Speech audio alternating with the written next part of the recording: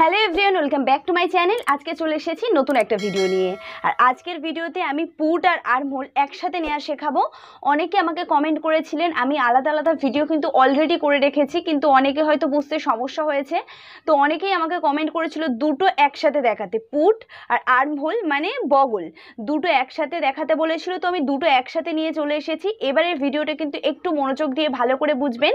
চলুন আজকে ভিডিও শুরু করা যাক।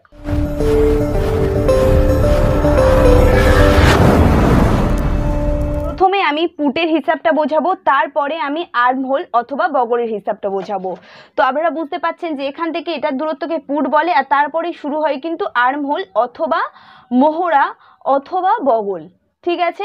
যেখানে মোহরা শেষ হবে, সেখান থেকেই কিন্তু শুরু হয় ছাতির লাইন। তো প্রথমে আমি পুরটাকে বুঝব। এবার একটা পিঠের ছবি দেওয়া আছে, এটা কিন্তু বেশ ভালোই ডিপ দেখাচ্ছে। আপনারা যে কোনো গলার জন্য এই একই সূত্র ধরে করতে পারবেন। যদি আপনারা বোর্ড নেক করছেন বা আর একটু বেশি ডিপ বা একদম পুরো, পুরোপুরি অনেকটাই ডিপ করছেন মানে জাস্ট একটুখানি কাপড় রাখছেন, পুরো ডিপ করছেন, তার জন্য কি করবেন সেটা একটু ভালো করে দেখে নিন। তো এখানে দেখুন, আমি এক জায়গায় লিখে নিয়েছি পিট আর এক জায়গায় লিখে নিয়েছি পুট। তো আমাকে একটা দিদিভাই কমেন্ট করেছিল যে, সামনের গলা থেকে আমরা ভেঙে নিতে পারি না? না, আমরা সামনের গলা থেকে ভাঙতে পারব না। আমরা পিছনের পিঠ অনুযায়ী কিন্তু পুটটাকে ভাঙতে হয়, সামনের গলা অনুযায়ী কিন্তু নয়, এটা আপনারা একটু খেয়াল রাখবেন। এবারে আপনারা বোর্ড নেক করবেন। ঠিক আছে বোর্ড নেক কিন্তু শুরু হয় তিন ইঞ্চি থেকে। তাহলে ধরুন, আপনাদের পিছনের পিঠ রাখতে চান বোর্ড নেক করতে চান তিন ইঞ্চি। তাহলে এখানে তিন ইঞ্চি তিন ইঞ্চি নিয়েছেন, আর আমাদের পুট কত আছে? পুট আমাদের আছে এখানে চোদ্দ ইঞ্চি, পুট আছে। তো যার আপনারা করতে চাইছেন, তার পুট আছে চোদ্দ ইঞ্চি, ঠিক আছে? তো প্রথমে আমি কলার দেওয়ার জন্য আপনাদেরকে একটু বলে দিচ্ছি, তারপরে আমি বোর্ড নেক থেকে শুরু করব।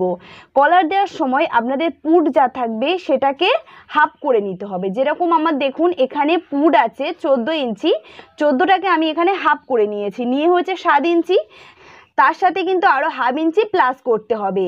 এটা শুধুমাত্র যখন কলার দেয়া করবেন, তখন কিন্তু হাফ ইঞ্চি প্লাস অবশ্যই করে নিতে হবে। তো যা হবে এখানে সেটা নিয়ে নেবেন।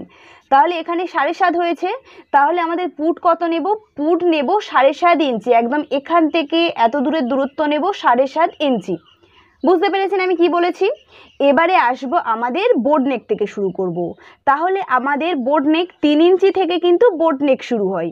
তো বোর্ড নেক গলার সময় আমাদের পুট ছিল চোদ্দ ইঞ্চি, চোদ্দোটাকে হাফ করে নিতে হবে। নিলে হবে সাত ইঞ্চি। বুঝতে পেরেছেন? তাহলে আপনাদের বোর্ড নেক যদি আপনারা পিট করেন, তাহলে হবে পুট এখান থেকে এত দূরের দূরত্ব নেবেন সাত ইঞ্চি। বুঝতে পেরেছেন? এবারে দেখুন। আপনারা বোর্ড নেক থেকে একটু বড় করতে চান। ধরে নিন আপনারা পিঠের লেন্থ রাখতে চান চার ইঞ্চি, তাহলে একটু এরকম বড় মতন হবে। হলে এখানে এরকম গোল রাউন্ড করুন, আপনারা যে কোনো শেপ দিতে পারেন, সেটা আপনাদের উপর ডিপেন্ড করছে আপনারা কেমন গলার ডিজাইন করতে চান। এবারে ধরুন আপনারা চার ইঞ্চি পিট করতে চান, তাহলে কি করবেন? এটা একটু ভালো করে বুঝুন, এইটুকু বুঝে গেলে কিন্তু আর কোনো সমস্যা হবে না। চার ইঞ্চির জন্য কি করতে হবে? দুশুত করে কমিয়ে কমিয়ে আনতে হবে। তো যখন তিন ইঞ্চির পরে আপনারা চার ইঞ্চি গলা করবেন, তখন আপনাদের পুট যা থাকবে তার থেকে কিন্তু দুশুত দুশুত করে কমতে থাকবে। যারা দুশুত কত চেনেন না, তাদেরকে একবার আমি ফিতেতে দেখিয়ে দিচ্ছি। দেখুন দুশুত মানে একটা ইঞ্চিতে আটটা দাগ থাকে। দেখুন, আটটা দাগকে আটটা সুদ বলে। এক, দুই, তিন, চার, পাঁচ, ছয়, সাত, আট। তাহলে এক এক ইঞ্চি তৈরি হয় আটটা সুদ নিয়ে। তো এখানে দুশুদ মানে দুটো দাড়ি। ব্যাপারটা ক্লিয়ার বুঝতে পেরেছেন? তাহলে এবারে আপনাদের যত গলার লেন্থ বা পিঠের লেন্থ যত বাড়তে থাকবে, আপনাদের তত দুশুদ দুশুদ করে মাইনাস হতে থাকবে। তিন পর্যন্ত আপনাদের পুট যা থাকবে তার হাফ করে নেবেন। তারপরে চার থেকে কিন্তু আপনাদের দুশুদ দুশুদ করে কমতে থাকবে। তাহলে এখানে আমার চার পিঠ আছে, চার পিঠের জন্য আমরা কত নেব? তাহলে এখানে সাত থেকে দুশুদ মাইনাস করলে হবে সাড়ে ছয় ইঞ্চি দুই সুদ। বুঝতে পেরেছেন? আপনারা যদি সাত থেকে দুশো মাইনাস করেন, তাহলে কত হবে আপনাদের? এখানে দেখে নিন, সাত থেকে আমি দুটো দাড়ি মাইনাস করলে কত হচ্ছে? সাড়ে ছয় ইঞ্চি দুই সুদ হচ্ছে। বুঝতে পেরেছেন? সেমভাবে আপনাদের দুশুদ দুশুদ করে কমতে থাকবে। এবারে ধরুন আপনারা পাঁচ পিঠ রাখতে চান, ঠিক আছে? তাহলে আপনাদের আরও দুশুদ কমে যাবে। কমে গেলে কত হবে? সাড়ে ছয় ইঞ্চি। বুঝতে পেরেছেন? তারপরে আপনারা পি পিট করতে চাইছেন ছয় ইঞ্চি।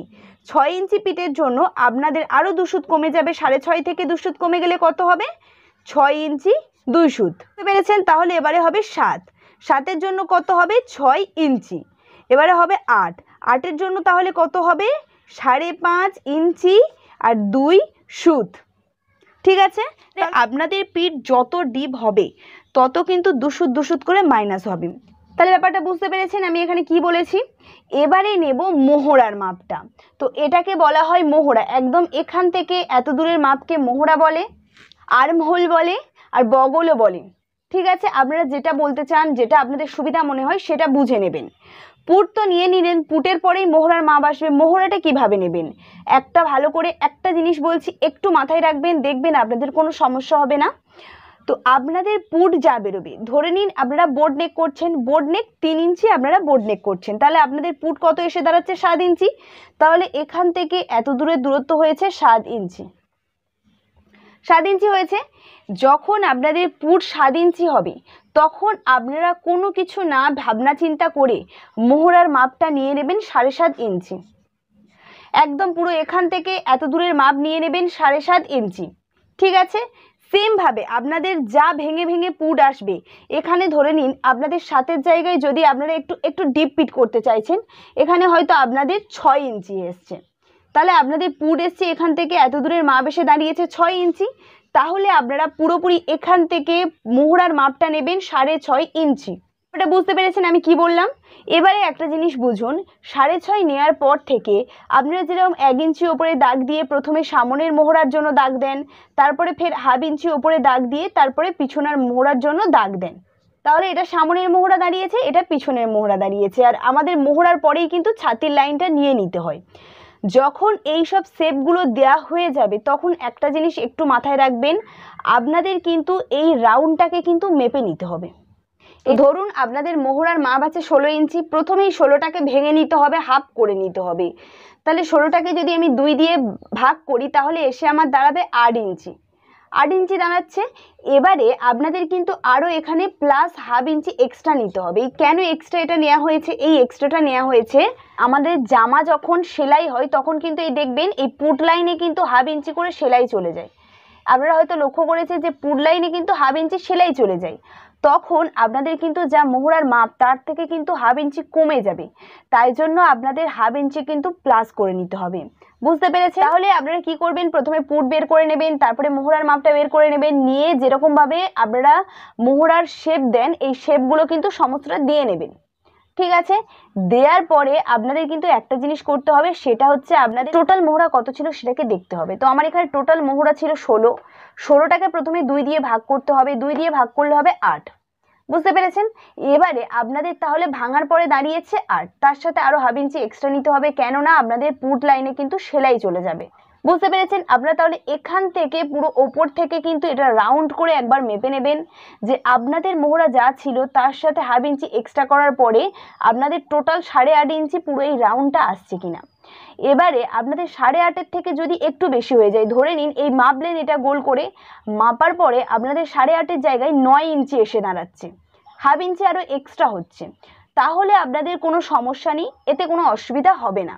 কিন্তু আপনারা এটা মাপার পরে যদি আপনাদের দশ ইঞ্চি এসে দাঁড়ায়, তাহলে কিন্তু খুব সমস্যা। কেননা আপনার প্রয়োজন ছিল সাড়ে আট ইঞ্চি, তাতে আরও হাফ ইঞ্চি এক্সট্রা হতেই পারে।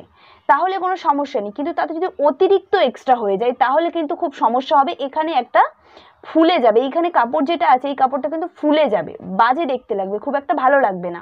তার জন্য আপনারা কি করবেন? এখান থেকে হাফ ইঞ্চি ওপরে দাগ দেবেন, দিয়ে সমস্ত ড্রয়িং এটা পুরো এরকমভাবে টেনে দেবেন। ছাতির লাইনটা ওপরে উঠে গেল। তাহলে এখান থেকে আপনাদের যে মোহরার দাগটা সেটাও উঠে গেল। সমস্ত আপনার ড্রয়িংগুলো নতুন করে করে নেবেন। ফের কিন্তু ফের রাউন্ডটাকে মেপে নিতে হবে। রাউন্ডটাকে কিন্তু আপনাদের মেপে মেপে দেখতে হবে যে আপনাদের ঠিকঠাক আসছে কি না তো আমি যেমন প্রসেসে বলেছি এরকমভাবে করলে কিন্তু খুব একটা অসুবিধা হয় না। কিন্তু খুব কম মানুষের একটু অসুবিধা হয়।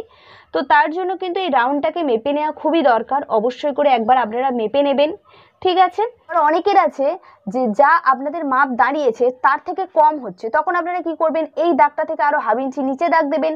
দিয়ে আবার এরকমভাবে লাইন টানবেন। সমস্ত ড্রয়িং কিন্তু ফের এখান থেকে শুরু করবেন এরকম ভাবে ঠিক আছে, ফের রাউন্ড করবেন।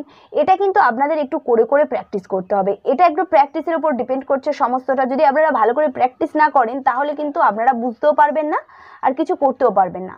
তাই বলছি, আপনারা একটু প্র্যাকটিস করবেন, একটু বুঝবেন ভালো করে, করতে করতে আপনাদের দেখবেন আর কোনো অসুবিধা হবে না। তো আমি আশা করব ভিডিওটা আপনাদের পছন্দ হয়েছে আর ভালোও লেগেছে। আর যদি ভালো লেগে থাকে, তাহলে অবশ্যই আমার চ্যানেলকে সাবস্ক্রাইব করো। যাও গিয়ে ডেসক্রিপশনে সমস্ত লিঙ্ক দেওয়া থাকবে সোশ্যাল মিডিয়ায় গিয়ে আমাকে ফলো করো। তো ওখানে আপনাদের সাথে আমার কথা হবে। আজকের ভিডিওটা এই পর্যন্ত।